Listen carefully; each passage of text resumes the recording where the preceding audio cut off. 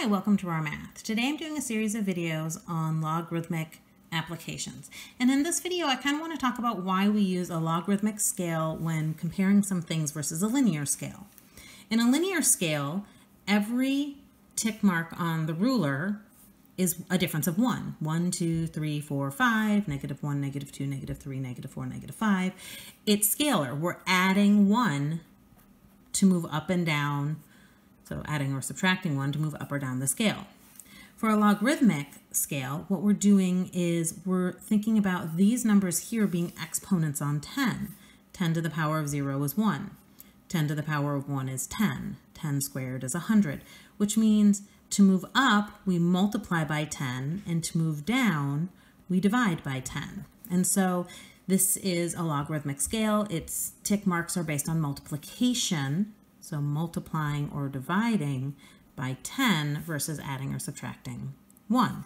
So on a logarithmic scale, the number 10,000 is represented by, well, 1, 2, 3, 4. It's the number of zeros.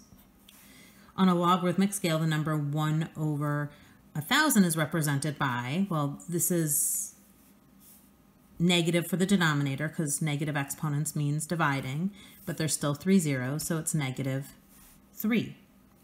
What is the difference between 100 and a million on a lin linear scale?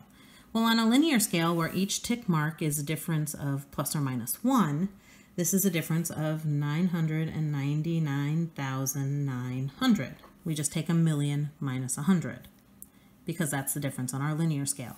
On a logarithmic scale where these are exponents, this is really 10 squared, this is really 10 to the sixth, and the difference on a logarithmic scale is four tick marks.